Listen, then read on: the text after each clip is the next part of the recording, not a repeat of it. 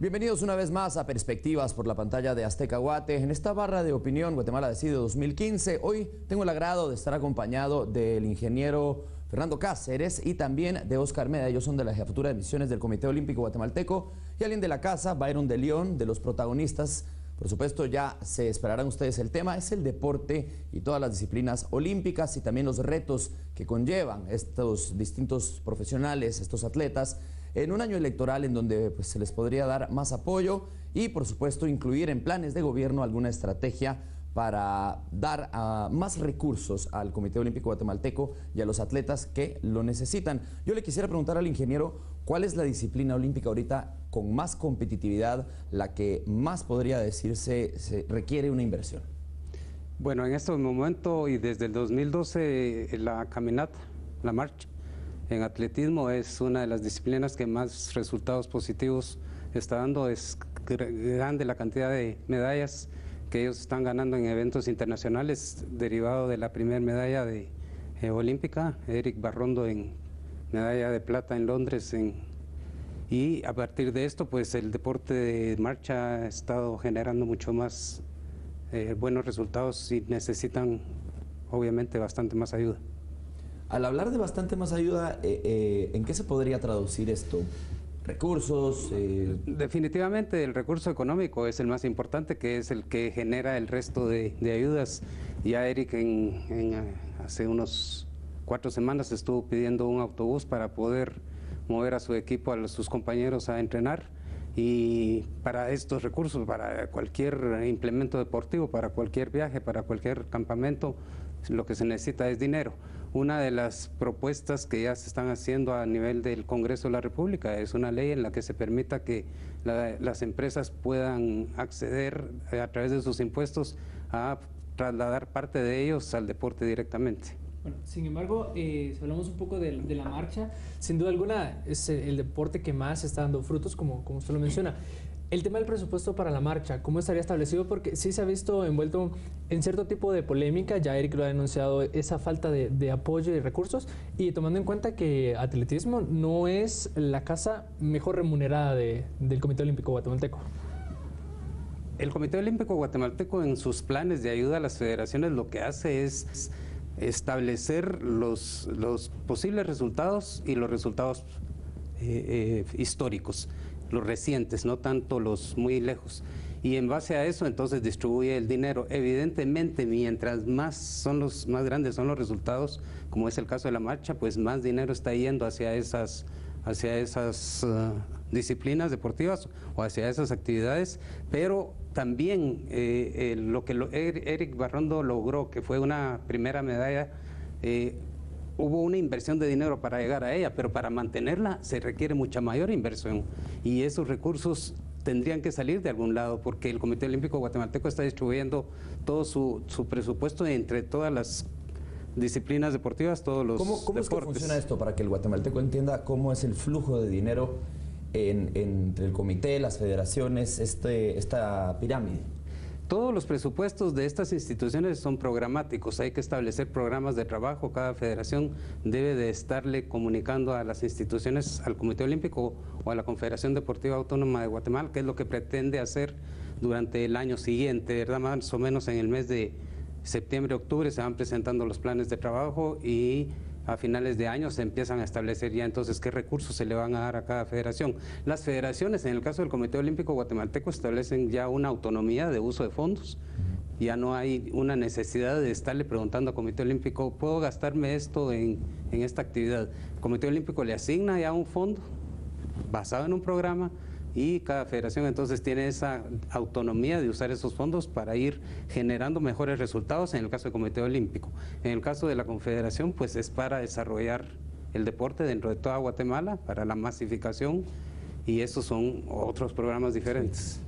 Yo le quisiera preguntar a Oscar, mm, ¿qué debería estar incluido en los planes que presenten candidatos en este año electoral para ver reflejado un efecto positivo en, pues, el desempeño de los atletas, en cómo ellos a veces se sienten, como lo decía Byron, sin apoyo y entonces esta inspiración se ve cortada por, por la falta de apoyo.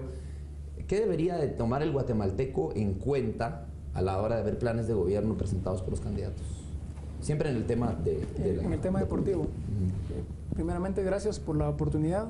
Considero que el deporte, además de brindar alegrías y, una pasión a nivel mundial, es una salud preventiva. Entonces el guatemalteco debería ir viendo que entre más eh, inversión hay en el deporte, igualmente menos posibles personas podrían ir a los hospitales. Entonces de eso se trata, de algún tipo de gobierno, un plan de gobierno, una propuesta de gobierno que pueda inyectar un poco más de, ayuda económica al deporte. Hacelo. Y hablando de los atletas eh, que ya están compitiendo, que, pues podrían tener un futuro tal vez un poquito más eh, competitivo en, los, las Olimpiadas o en los Juegos Olímpicos, ¿qué, necesitamos que el gobierno haga para que ellos pues, puedan explotar su talento y su potencial al máximo? Bueno, yo creo que el gobierno ya, ya hay un decreto, hay un derecho por el cual llegan los, los ingresos al deporte.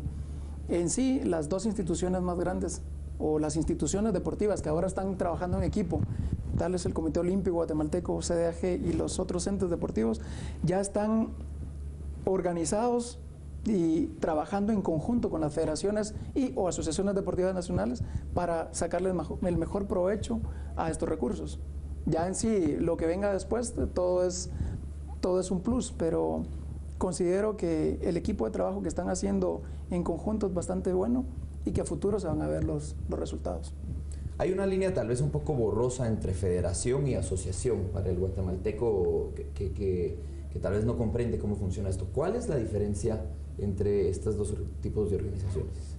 Una, una federación es la que tiene cierto número de asociaciones deportivas nacionales y eso la convierte en una, en una federación. La asociación en sí es la que no comprende o no llena los requisitos mínimos de asociaciones a nivel nacional. Por eso sigue siendo asociación. Así es. Yo le quisiera preguntar a Byron, en su experiencia en coberturas, ¿alguna historia, alguna anécdota donde se vea reflejado este, este tipo de falta de apoyo o de recursos? y alguna historia en donde se vea reflejado el que sí existen recursos y, y que tal vez pueden ser bien utilizados en alguna ocasión.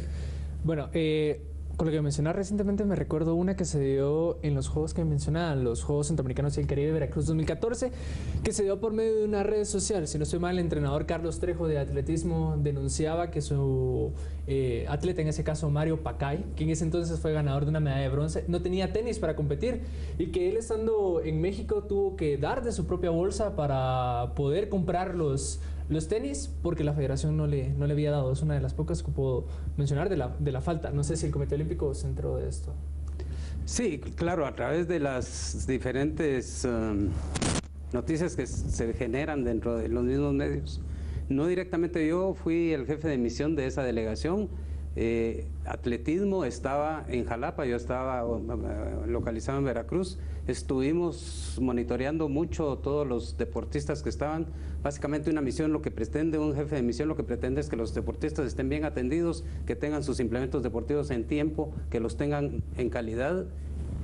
Y eh, sí, definitivamente dependemos en algunos casos de la disponibilidad de equipo. Específicamente en el caso de Mario, yo no conozco a profundidad qué fue lo que pasó con esos tenis, pero sí el Comité Olímpico Guatemalteco proporciona a todas las federaciones los implementos necesarios para competir y para participar. ¿Cómo los generan después? ¿Cómo los, los gestionan después las federaciones? Pues no tenemos ya mucha injerencia en eso, pero sí el Comité Olímpico proporciona los fondos. Eh, puede ser un caso aislado, en la mayoría o en el, casi el 100% de los demás atletas Estamos completamente convencidos de que todos iban bien preparados y todos iban bien, bien uniformados, con sus accesorios de competencia, etcétera. De hecho, Mario, Mario Pacay está también ahorita ya buscando una clasificación para Juegos Panamericanos y en el momento también en que él clasifique para los Juegos, pues también ya entra en ese plan de, de implementación para poder participar adecuadamente en Toronto. La pregunta va, ¿cómo, regular este tipo de situaciones para que, bueno, si hace ¿Cómo fiscalizar este proceso? Ya no sé. Para, porque podría ser que sí existen los recursos, que sí existe el apoyo, pero hay ¿Alguna falta de organización? Actualmente con el Comité Ejecutivo del Comité Olímpico Guatemalteco actual, ellos están buscando un mejor acercamiento hacia los atletas, y directamente hacia los atletas. Y para esto entonces eh, se reactivó lo que se llama la Comisión de Atletas. La Comisión de Atletas está formada por cinco atletas olímpicos que pueden estar vigentes o ya no, pero que ellos tuvieron mucha experiencia en participaciones hasta el nivel olímpico y entonces ellos son la voz de los deportistas ante comité ejecutivo. Entonces hay un representante de, no, sé si todas las reuniones de comité ejecutivo, pero en las que he estado presente, sí ha estado presente un representante de la comisión de atletas, la que lleva la voz de sus atletas y les dice al comité ejecutivo, miren, necesitamos en esto, eh, estamos contentos en aquello, quisiéramos más apoyo en esto. ¿Cuánto tiempo llevaba esta comisión de no existir? No, la comisión de atletas ha existido por lo menos por los últimos 20 años. Y el enfoque que le dio el nuevo comité ejecutivo es el enfoque del Comité Olímpico Internacional, que es colocar atletas olímpicos. Anteriormente las comisiones de atletas eran, éramos exatletas, yo fui parte de la comisión de atletas dos o tres veces, éramos exatletas que no necesariamente éramos olímpicos, pero que sí habíamos estado inmersos dentro de la actividad deportiva y entonces estábamos generando muchas propuestas para poder ayudar a los atletas, pero no teníamos una voz directa en comité ejecutivo como la hay ahora. Entonces, eh, nos está ayudando mucho porque ellos nos llega, el representante de la Comisión de Atletas nos lleva las noticias de lo que está pasando, esa, digamos que esa disparidad en la información en la que nosotros eh, perdemos qué es lo que está sucediendo porque las federaciones son autónomas para actuar. Es la Comisión de Atletas la que nos está retroalimentando con información y nos está ayudando, entonces le está ayudando al Comité Ejecutivo a poder orientar de mejor manera los recursos, las decisiones, las, las fiscalizaciones de, de pronto también, ¿verdad? Vamos a la pausa aquí en Perspectivas. Regresamos discutiendo la situación actual del deporte nacional. Señores representantes del Comité Olímpico Guatemalteco acompañándonos aquí. Usted siga formando parte de esta mesa. Ya regresamos. Un cafecito. Un café.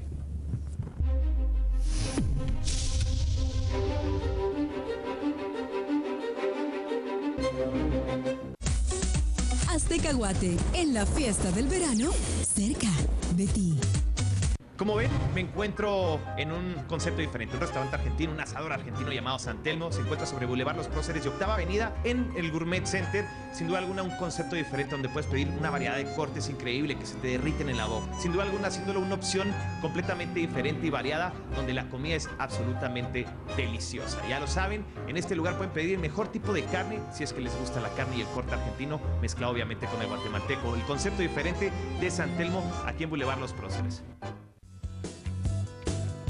Yo cuido el medio ambiente. Yo reciclo.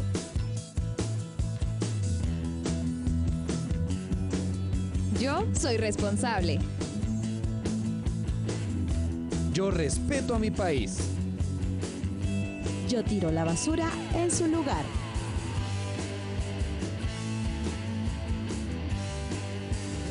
Yo doy el ejemplo. Este 26 de abril te toca ser parte del cambio. Tirar basura es inaceptable. Nosotros estamos listos. Súmate al movimiento de limpieza más grande de nuestro país. ¡Limpiamos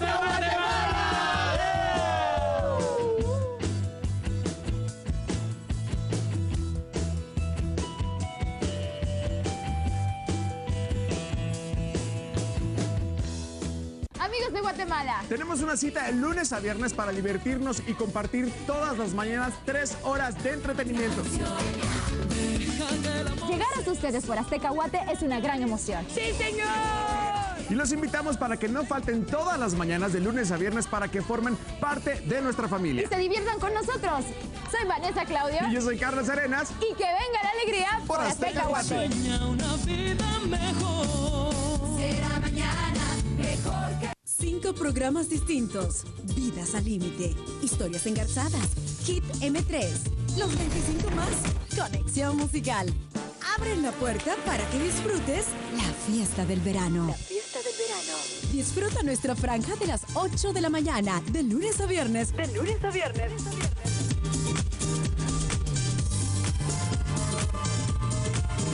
Azteca Guate, en la fiesta del verano, cerca de ti.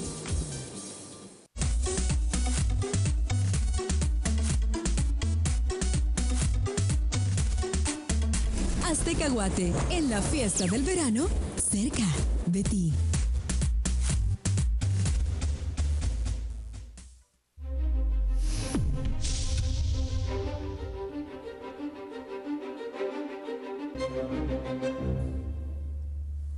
Continuamos aquí en Perspectivas, en la pantalla de Azteca Guate, acompañados de representantes del Comité Olímpico Guatemalteco, especialmente de la Jefatura de Misiones, quienes acompañan a los atletas cuando van a competir en el extranjero y también, por supuesto, el acompañamiento que se les da aquí en nuestro país. Yo le quisiera preguntar a Oscar Veda, eh, se invierte, pero esta semana anunció el presidente del comité un recorte de 8.7 millones de quetzales en la inversión que se hace para distintas disciplinas trasladando parte de este dinero a gastos administrativos. Eh, esta es la respuesta que dio, vamos a verla antes en pantalla, si quieren la vamos a compartir antes lo que decía el señor Gerardo Aguirre y después discutimos sobre esta nueva modalidad de trabajo del Comité Olímpico que recién anuncia su presidente. Esta es la nota.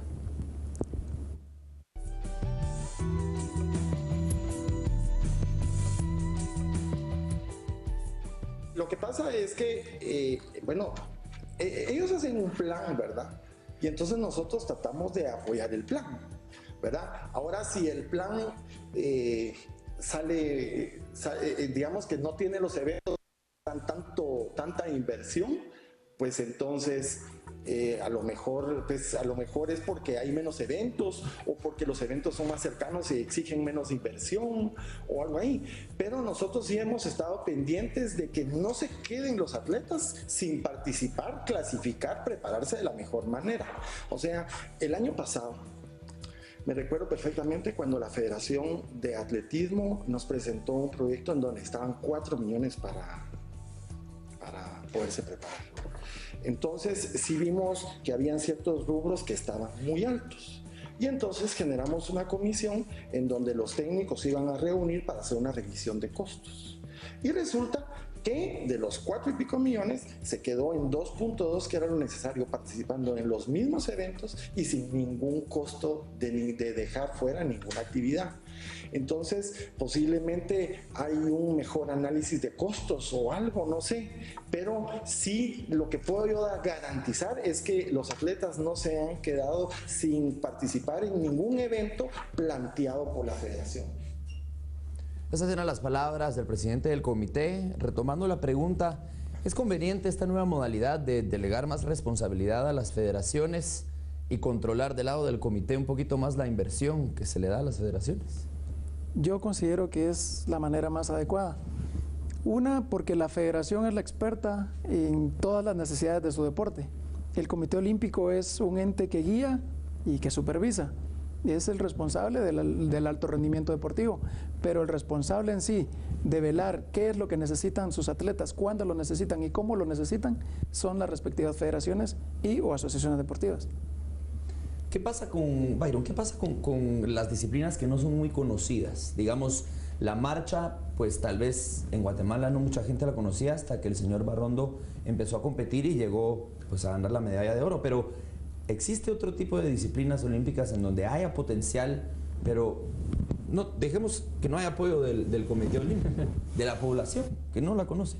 Claro, de, por si hay muchísimas. En la mayoría Vienen siendo asociaciones que por algún tipo de X o Y razón no pueden ser reconocidas como federaciones por diversos problemas. De la primera que se me viene a la mente y hemos hablado mucho en los protagonistas es la Asociación Nacional de Bicicross, una asociación que se creó hace un par de años, pero que ha tenido un crecimiento bastante importante en los recursos que ellos tienen porque son autofinanciables por el mismo sistema de que no son federaciones. Entonces hay bastante potencial y se vio recientemente también en, Veracruz 2014. Por el término de ser asociaciones y, no una federación, no pudieron enviar uno de sus atletas a participar. La Federación de Ciclismo terminó enviando a uno de sus propios atletas que a final de cuentas en la competencia que se realizó quedó en el último lugar porque no era uno de la especialista del especialismo en esa categoría. ¿Existe dentro del comité disciplinas deportivas que no sean tan reconocidas? Porque como lo vemos es que a base de resultados se dan más recursos, como premios, digamos. ¿Hay alguna manera de trabajar al revés y decir, bueno, vamos a invertirle más a esgrima para que la gente lo reconozca que tenemos atletas de esa disciplina? ¿Hay algún plan de este tipo? Bueno, dentro de la planificación de, todas las federaciones que presentan al Comité Olímpico, no solo, les decía yo anteriormente, está el resultado histórico que marcaría, digamos, eh, Marcha ganó medalla de plata, tiene cierta cantidad de dinero. Eh, los potenciales, esos que están ustedes hablando en este momento, también marcan parte de la cantidad de dinero que una federación va a recibir. Se logran detectar a través de, la dirección técnica del Comité Olímpico Guatemalteco en conjunto con las federaciones propias, cuáles son los deportistas que, son prospectos a dar buenos resultados en el ciclo olímpico y a ellos también se les empieza a generar ayuda económica. De hecho, el mismo Comité Olímpico Internacional al crear las eh, Olimpiadas Juveniles, que son para atletas entre 14 y 18 años, ya está diciéndoles a los comités olímpicos nacionales, tienen que fijarse en atletas de esas categorías, que son las juveniles. Y el Comité Olímpico Guatemalteco así entonces lo considera. Los atletas juveniles también, dentro de una federación que está proyectando que pueda tener resultados a 4 o 8 años, también está contribuyendo con, con parte de sus gastos, quizá no todos porque de todos modos ese es parte del desarrollo que la misma federación debe desarrollar con fondos propios o fondos de la confederación. Aquí hay un tema importante que a mí en lo personal me gustaría comentar y es que eh, las federaciones han estado bastante y las asociaciones han estado un poco acostumbradas a esperar el recurso que viene del gobierno a través de Comité Olímpico, a través de CDAG, y ellos tienen mucha posibilidad de generar recursos propios, ¿verdad? Y, yo creo que ahí hay también un potencial buscar patrocinios. Sí, se les permite, por supuesto, pero entonces pondría yo, podría yo decirles cuál es otro de los problemas en generar fondos por parte de una federación. Los comités ejecutivos deben estar integrados por gente ad honorem. Entonces yo tengo que ser un empleado de algún lugar o tengo que tener un negocio o tengo, tengo, que tener un ingreso económico para vivir. Y el tiempo que me va quedando libre yo lo voy dedicando a la federación. En otros países los dirigentes de las federaciones son profesionales son empleados de las federaciones. El presidente es un empleado. Entonces él trabaja 8 o 10 horas diarias para esa federación y él completamente claro, está dedicado a su federación, a sus atletas, a generar ingresos. Son otras modalidades, pero yo, eh, si quisiera yo, me permitieran regresar a lo de las posibilidades de que un candidato en Guatemala propusiera algo. Eh, la generación de deporte, como lo dijo Oscar, eh, que es no solo salud, es, muchas cosas, es educación, es eh, alejar a nuestra juventud de, posibilidades fuera de la ley, etcétera, que, las, que un candidato a una presidencia nos ofrezca a nosotros la posibilidad de que la iniciativa privada pueda ayudar fuertemente al atleta, a los atletas, a las federaciones y que ese dinero se traduzca entonces en beneficio para esos atletas, eso sería una de las para, para el universo nuestro. Así no funciona actualmente. No, claro que no. No. No. Oscar, ¿cómo captar pequeñitos que estén interesados entonces si no hay, digámoslo, un mercadeo agresivo? Pues eh, lo vemos, lo decía el ingeniero, las, las federaciones a veces tal vez están en, algún desahucio y no se dedican completamente sus directivos a mercader a su federación o a atraer a nuevos atletas. ¿Cómo hacer para que eso funcione? ¿Es únicamente incluyendo la iniciativa privada o hay alguna otra modalidad? Ese es un plan puramente de la federación. Como les comenté anteriormente, el Comité Olímpico Guatemalteco vela por el alto rendimiento deportivo, independientemente sean los juveniles de los que participan en juegos juveniles de 14 a 18 años, ellos ya tienen un alto rendimiento deportivo, pero es la federación la que traslada esos prospectos de alto rendimiento para que el Comité Olímpico los pueda guiar y apoyar para, para el desarrollo de los mismos. Llegando tal vez a escuelas, llegando al interior, se, se hace, hay una modalidad de atraer nuevos atletas que tal vez no saben que tienen las capacidades aptas para ser olímpicos. Sí, y es un trabajo conjunto. Pero es responsabilidad de la federación. De la federación las entidades, pero el ingeniero me puede, me puede apoyar un poco. Ahí tenemos el, las leyes de Guatemala tienen a la Dirección General de, Educación Física, que es la que está encargada del deporte escolar. El deporte escolar es el que nos debe de proveer niños a las federaciones que vayan a empezar a probar un deporte en escuelas de formación, de iniciación, y que estas federaciones detecten prospectos que vayan a ser en el futuro eh, buenos, buenos atletas. Eh, hay una necesidad de que la, se vuelva a reintegrar eh, esa participación escolar que la hubo en el tiempo del mismo Gerardo Aguirre, cuando fue ocho años director de la DIGEF. Él, él fue el que promovió mucho deporte en las federaciones a nivel escolar y estos, muchos de estos niños, Ana Sofía Gómez sale de, de, de Codicader. Codicader es una competencia de escolares a nivel Centroamérica. Y así muchos, no es la única, hay varios casos como ella en karate, en, judo, en muchos deportes. Sí, porque antes se veía que traían a pequeños en buses a la, a la ciudad olímpica. claro, y los entonces los estaban em, empezando a, llevar al llevarlos al deporte. Y ahí entonces se detectaban, las federaciones detectaban. Eso ahorita está un poco dormido y me imagino que estará en estudio, ¿verdad? Cómo volverlo a reactivar y mejorar. Llegamos a la etapa de conclusiones. Eh, yo quisiera comenzar con Byron. Los retos del comité, de las federaciones y del gobierno que viene a tomar posesión el próximo año para llevar esto un poquito más... ya vimos que sí tenemos talento, ya vimos que sí tenemos capacidad. Ahora, ¿qué hay que hacer? ¿Qué falta? Bueno, en cuanto al tema de apoyo, yo creo que sí, el presupuesto muchas veces queda corto a lo que se necesita en Guatemala. Obviamente habrías que, tendrías que reformar la constitución para obtener más presupuesto. Hablas con una federación, te dice, no tenemos presupuesto porque el comité no nos da. Vas con el comité y el comité te dice, pues es lo que, recibimos, es lo que recibimos del Estado. Entonces, sí el Estado tendría que apoyar más. Obviamente hay que modificar la constitución y si en algún caso se pudiera, pues tener más eh, auditorías para controlar de una mejor manera qué es lo que se está haciendo con, el dinero. Y obviamente infraestructura en Guatemala hace falta muchísima. Yo creo que a, nivel centroamericano, siendo uno de los líderes de, Guatemala, estamos muy por debajo de, Centroamérica. O sea que no solo invertir en el recurso humano, sino en la infraestructura. En la infraestructura también nos hace falta mucho. Señor Meda, también su conclusión en cuanto a los retos que supone para los atletas, para la infraestructura, bueno, en fin. Bueno, eh, deportivamente, en el logro deportivos, eh, Guatemala es es pionero, está por delante de muchos países del área. Y, eh, claro ejemplo, el buen resultado en Juegos Centroamericanos y el Caribe. Considero que el reto ahora es, es Toronto. Eh, el Comité Olímpico está y su comité ejecutivo están brindando y trabajando con todo el equipo de trabajo para, para apoyar y lograr que todo el atleta que viaje a Toronto y pueda tener participación en él lo haga de la mejor manera.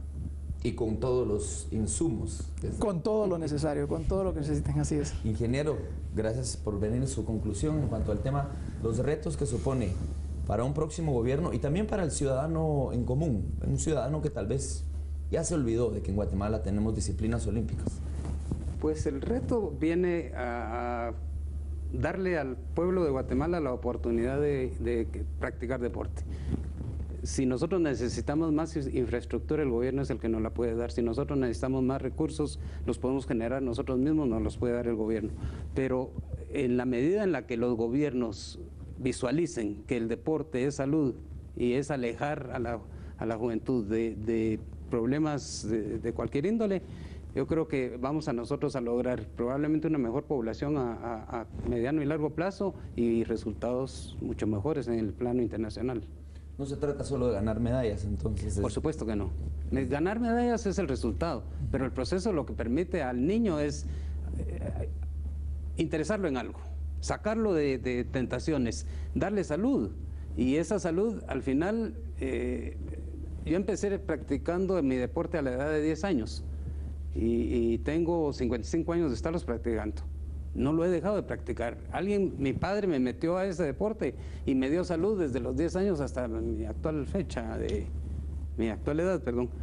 Si eso sucede en todos los guatemaltecos, todos generamos en nuestros hijos una actividad deportiva y esa actividad deportiva se convierte en él en una práctica diaria. Vamos a tener no solo salud, vamos a tener gente bien preparada, gente, ciudadanos modelo y al final resultados en eventos internacionales. Muchas gracias por acompañarnos hoy en Perspectivas. ¿Y usted, ciudadano, cuándo fue la última vez que llevó a su hijo o a su hija a dar una vuelta por la Ciudad Olímpica para ver si le interesa algo? ¿Conoce usted la Ciudad Olímpica? Bueno, le dejo dos preguntas allí rebotando para que lo tome en cuenta y lo piense en este año electoral y también analice los planes de gobierno de los distintos partidos y descubra si existe una propuesta viable para seguir apoyando el deporte nacional. Esto es Perspectivas. Gracias por acompañarnos. Nos vemos a la próxima.